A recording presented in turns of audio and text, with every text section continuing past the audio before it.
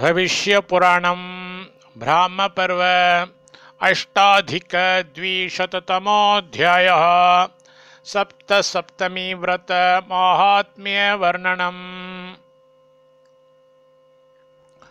शतानीक उवाच। पुनर्मे ब्रूहि सप्तम्यां। प्रीतये भास्करस्य तु उपोषितो भवतीह। नरो यस्तु द्विजोत्तमा सुमन्तुर्वाच। कथिता सप्त सप्तम्यः। पुनरस्मिन् महामते। बहवः कुरुषार्दूल। भूयस्त्वेत्ता शृणुष्व मे। स्वयं या कथिता पूर्वम्। आदित्येन खगाधिप अरुणस्य महाबाहो सप्तम्य सप्त पूजिताः अर्कसम्पुटकैरेका द्वितीया मरीचैस्तथा तृतीया निम्बपत्रैश्च चतुर्थी फलसप्तमी।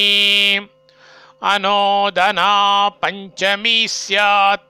षष्ठी विजयसप्तमी सप्तमी कामिका ज्ञेया विधिं निबोध मे शुक्लपक्षे रविदिने दक्षिणे चोत्तरायणे, ग्रहणे सूर्यनक्षत्रे, गृह्णीयात् सप्त सप्तमी सत्तांसो ब्रह्मचारी स्याच्चौच्चयुक्तो जितेन्द्रियः।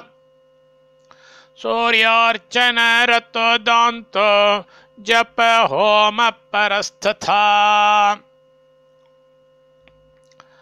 पञ्चम्यामेव पुरुषः कुर्यान्नित्यमनात्मकम्। षष्ट्यां न मैथुनं गच्छेन्, मधुमांसं च वर्जयेत्। अर्कः सम्पुटकैरेकां तथान्यामरीचैर्नयेत्। तथा परां निम्बपत्रैः फलाख्यायां फलं चरेत्। अनोदनामन्नरहित उपासीत यथाविधि अहोरात्रं वायुभक्षः, कुर्याद् विजयसप्तमीं तथैकां सप्तमीं कृत्वा प्रतिमासं विचक्षणः। कुर्यात् यथा विधि मुदा ततः कुर्वीत कामिकाम्। आसां लिखित्वा नामानि पत्रकेषु पृथक् पृथक्। तानि सर्वाणि पत्राणि क्षिपेदभिनवे घटे।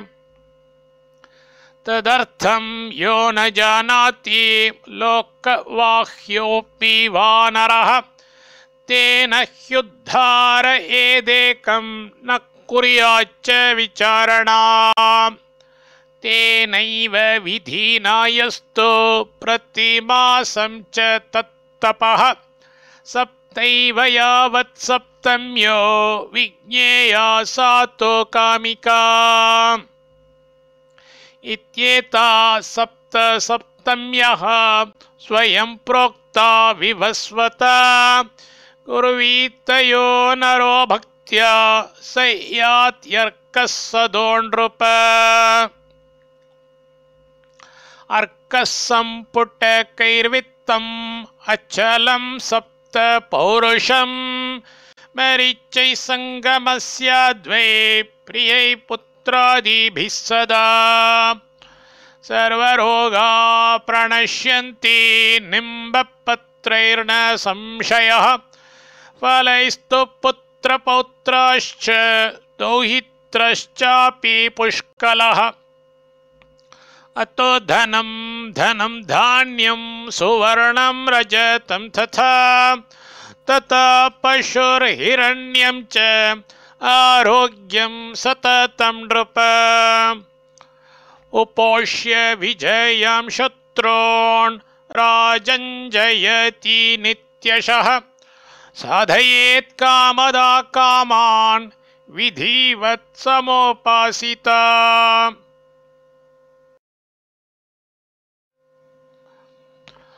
पुत्रकामो लभेत् पुत्रम् अर्थकामोऽर्थमक्षयम्। विद्याकामो लभेत् विद्याम्। राज्यार्थी राज्यमाप्नुयात्। कृत्स्नान् कामान् ददात्येष कामदा कुरु नन्दन। नरो वा यदि वा नारी। यथोक्तं सप्तमी व्रतं करोति नियतात्मा वै स याति परमां गतिम् न त्रिषु लोकेषु किञ्चित् दुर्लभम्।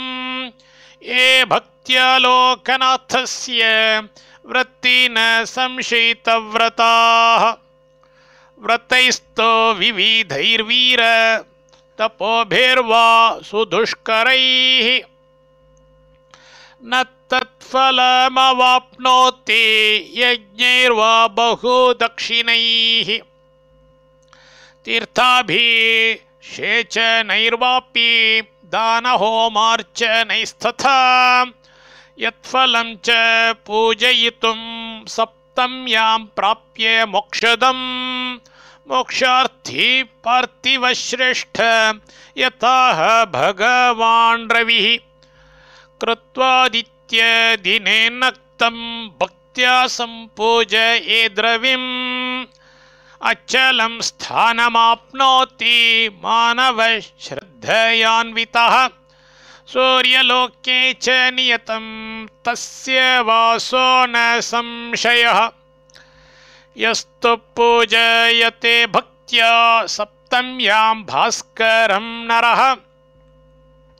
ब्रह्मेन्द्ररुद्रलोकेषु तस्य प्रतिहता गतिः नान्धो न कुष्टी न क्लीबो, न व्यङ्गो, न च निर्धनः। कुले तस्य भवेद्वीर, यश्चरेत् सप्तमी व्रतम्। विद्यार्थी लभते विद्यां धनार्थी धनमाप्नुयात्। भार्यार्थीरोपसम्पन्नां स्त्रियं पुत्रांश्च भारत। लोभात् प्रमादान्मोहाच्च व्रतभङ्गो यदा भवेत्, तदा त्रिरात्रं नाश्नीयात् कुर्याद्वा केशमुण्डनम्। प्रायश्चित्तम् इदं कृत्वा पुनरेव व्रति भवेत्। सप्तैव यावत् सप्तम्यो भवन्ति च खगेश्वर। अभ्यर्च्य सूर्यसप्तम्यां माल्यधूपादिभिर्नरः। भोजयित्वा द्विजाञ्चक्त्या प्राप्नुयात् स्वर्गमक्षयम्। सप्तम्यां विप्रमुक्त्येभ्यो हिरण्यं यः प्रयच्छति। स तदक्षय्यमाप्नोति सूर्यलोकं च गच्छति। इतीदं कीर्तिदं वीर सप्तमी व्रतमुत्तमम् भूय एवाभिधास्यामि शृणुष्वैकमणानृप। भूय एवाभिधास्यामि शृणुष्वैकमणानृप। इति श्री भविष्य श्रीभविष्यमहापुराणे ब्राह्मे पर्वणि सप्तमी कल्पे सौरधर्मे सूर्यारुण संवादे सप्त सप्तमी व्रत वर्णनम नामाष्टाधिक नामाष्टाधिकद्विशततमोऽध्यायः।